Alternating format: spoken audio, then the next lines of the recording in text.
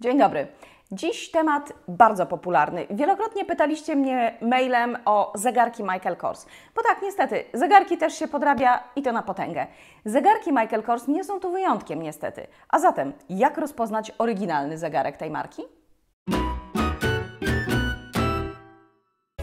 Zanim cokolwiek kupisz, zajrzyj na stronę sprawdzonego sklepu, np. Zalando, zorientujesz się, jak wyglądają i ile kosztują dostępne modele. Jeśli ktoś proponuje Ci coś zupełnie innego, daruj sobie. Podobnie, jeśli ktoś ma 10 różnych modeli zegarków Corsa czy innych, wszystkie po 1 trzeciej ceny sklepowej. Można też trafić na oferty, gdzie wszystko się zgadza z zegarkiem Corsa, który znasz ze sklepu. Wtedy warto zainteresować się opakowaniem. Jeśli go nie ma, to też jest jakiś sygnał alarmowy, bo najpewniej ktoś przywiózł w kieszeni 10 zegarków i teraz szuka jelenia, który je kupi. A co jeśli wszystko wygląda idealnie? Jak widać między tymi dwoma zegarkami w zasadzie nie ma różnic kształt, kolor, opakowanie, jednak warto przyjrzeć się uważniej. Poduszki nie są takie same.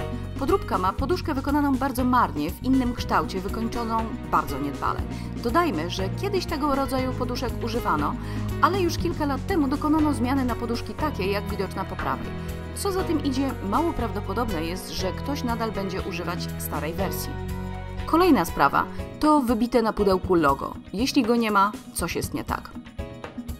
Do każdego zegarka dołączana jest też książeczka, instrukcja. Odcień beżu na okładce da się ocenić głównie przez porównanie, ale rodzaj zszycia grzbietu zdradza podróbkę od razu. Przyjrzyjcie się temu zdjęciu. Mimo, że zegarki wyglądają na identyczne, to nie są. Porównajcie kształt czcionki datownika w oryginale, cyfry są wydłużone, oraz rodzaj wykończenia łączenia między bransoletą a tarczą zegarka. I coś na sam koniec. To jest podróbka. Jak widać, cyfra 2 odstaje od cyferblatu. Nie ma szans, żeby w oryginale pojawiło się coś takiego. Podróbki zegarków Michael Kors, zresztą innych marek też, to zmora internetu.